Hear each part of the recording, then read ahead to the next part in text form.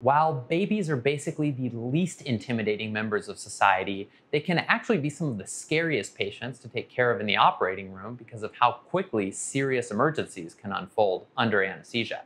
My name is Max Feinstein, and I'm a pediatric anesthesiologist at the Mount Sinai Hospital in New York City. And in this video, I explain why the medications succinylcholine, atropine, and epinephrine are so critical for safely taking care of pediatric patients. Among the many differences between pediatric patients and adult patients is the fact that pediatric patients have a much higher likelihood of a phenomenon where their vocal cords snap shut if there's not a breathing tube that's already in place. This phenomenon is called laryngospasm and can very quickly result in a situation where no oxygen can be delivered to the patient's lungs. One of the major risk factors for laryngospasm is a recent upper respiratory infection. And for that reason, it's not uncommon for pediatric surgeries to be postponed if a child's been sick recently, unless it's an urgent or emergent surgery, in which case there has to be a weighing of the risk versus the benefits of proceeding despite a recent upper respiratory infection. Another major difference between adults and pediatric patients is the fact that pediatric patients can use as much as twice as much oxygen per kilogram of body weight compared to adults which means that if they end up in a situation where they're not able to receive oxygen in their lungs because laryngospasm has occurred, there's much less time to intervene before the patient's oxygen levels start to precipitously decline. For these reasons, it's essential to have a very quick and reliable way to open the vocal cords in the event that laryngospasm occurs. And the way that we do that in pediatric anesthesia is with a rapid acting paralytic medication called succinylcholine. Succinylcholine can be administered through an IV, but if we don't already have IV access established, then this can also be administered intramuscularly. The major benefit of succinylcholine and the reason why it's a mainstay for emergency management in pediatric anesthesia is how rapidly it acts, which is under a minute, usually 45 seconds or sometimes even less when administered IV in an emergency situation where laryngospasm has occurred and there's no air exchange with the lungs, then having that rapid acting medication is essential for getting oxygen back into the patient's lungs and then into their red blood cells that circulate throughout the body.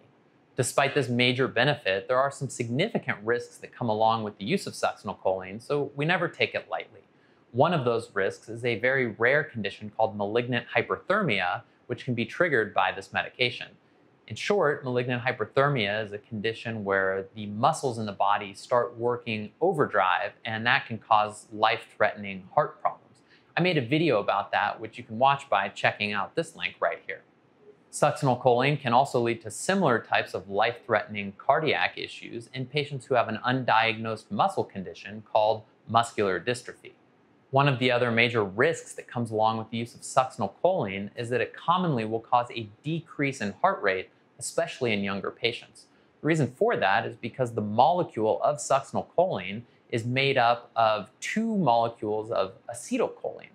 Acetylcholine is a molecule that exists naturally in the body and is partly responsible for decreasing heart rate in a variety of circumstances. So when succinylcholine is administered, it can act in a similar way as acetylcholine, causing a decrease in heart rate going back to the differences between pediatrics and adults is the fact that pediatric patients can be very dependent on their heart rate for the amount of cardiac output that they have, meaning how much blood is pumped out of the heart per unit of time. There's actually an equation that we very commonly use to think about this, which is that cardiac output is equal to heart rate times stroke volume. Stroke volume is the amount of blood that's ejected every time the heart squeezes in pediatric patients, the heart actually doesn't have the ability to change size quite as much when it's filling up with blood and then squeezing. So going back to this equation of cardiac output equaling heart rate times stroke volume, the stroke volume is actually fairly fixed in pediatric patients. So their cardiac output then is largely dependent on what their heart rate is. So if there's anything that causes a decrease in heart rate, for example, succinylcholine that's being administered in an emergency, then that can significantly decrease cardiac output, which can, of course, become a life threatening issue if there's not enough blood going to vital organs, like the coronary arteries of the heart.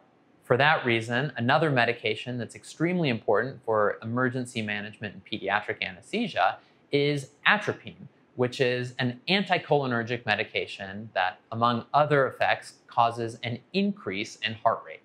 Generally speaking, pediatric patients are at higher risk for having decreased heart rate or bradycardia because of the way that their physiology hasn't quite yet developed. In addition to the fact that we might be administering a medication like succinylcholine, which can decrease the heart rate, or performing other interventions like intubation, which also can lead to decreased heart rate. For all of these reasons, it's essential to have atropine ready to go, which can also be administered intramuscularly or through an IV.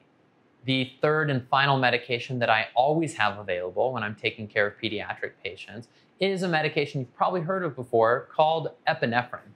This is in a class of medication called alpha and beta adrenergic agonist, which is basically a fancy way of saying that it will increase blood pressure increases the heart rate and increases the contractility of the heart, meaning how much the heart is squeezing.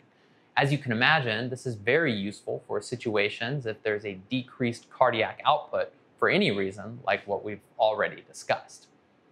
Additionally, epinephrine can be used to treat other emergencies that might come up in the operating room, especially a condition called bronchospasm, where the muscles inside of the lungs start to close down. When this happens in pediatric patients, this can also lead very quickly to a lack of oxygen in the patient's blood. So epinephrine is a very quick way to remedy this issue.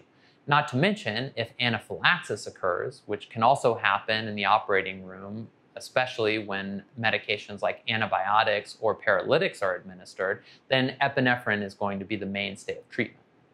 Not only can epinephrine be administered intramuscularly and through an IV, but it can also be administered down an endotracheal tube, which is a really helpful way of treating bronchospasm. But you have to be careful to not administer so much that you make it hard to oxygenate the patient because their lungs are full of epinephrine. Like most of the medications in pediatric anesthesia, all of the ones that I've discussed in this video are dosed based on a patient's weight. So it is vital for anyone who is administering medications to pediatric patients to know exactly what the dose is of succinylcholine and atropine and epinephrine in case it needs to be administered. And in some cases, the doses for these medications varies depending on whether it's delivered through an IV or through an intramuscular needle. One of the more intimidating parts of pharmacology for pediatric anesthesia is the fact that you have to be very aware of the concentration or the dilution of medication that you intend to administer to your patient. A great example is epinephrine. This vial comes with one milligram or 1,000 micrograms in one milliliter. But for a patient who I'm taking care of who weighs two kilograms, and I want to administer 10 micrograms per kilogram, which is the appropriate dose if this needs to be administered, then I would want to give 20 micrograms of epinephrine. This vial contains 50 times that amount. So if I were to draw this up without diluting it, I wouldn't even be able to give a single drop without overdosing the patient on epinephrine, which could in itself be a life-threatening condition. For that reason, I commonly will dilute epinephrine down into 100 micrograms per milliliter, as well as 10 micrograms per milliliter, and have both of those dilutions available to me. And if I'm taking the care of very small patients, again, like a two kilogram patient, then I may also have a one microgram per milliliter concentration available, keeping in mind that there are 1,000 micrograms in this one milliliter vial. In order to prepare the dilutions of epinephrine that I want, I start with my one milligram per milliliter vial, double check that it's exactly what I want, and then I've got my syringe prepared for that. I am in the habit of making the syringe extra apparent that this is going to be the highest concentration of epinephrine that I have, which will end up being 100 micrograms per milliliter. Recall that this is currently 1,000 micrograms per milliliter. So the way that I make this dilution is to take sodium chloride and put nine milliliters of that into this syringe.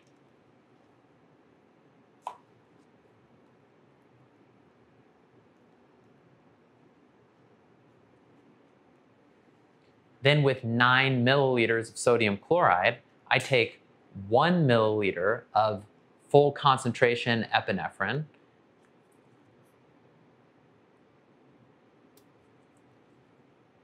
And now this has become 100 micrograms per milliliter.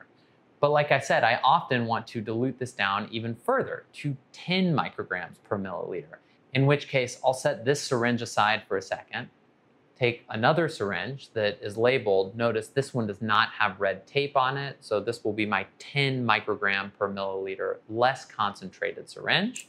And again, I'm going to drop nine milliliters of sodium chloride,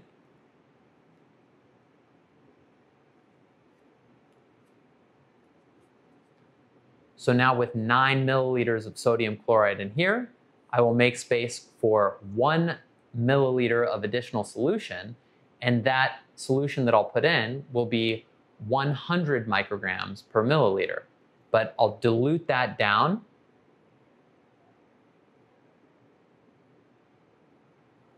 So now this has become 10 micrograms per milliliter. And this is what I typically have available for me anytime I'm taking care of any pediatric patient. But again, if I'm taking care of a very small patient, typically less than five kilograms, then I'll dilute this down by another factor of 10 so that I have one microgram per milliliter syringes available for me.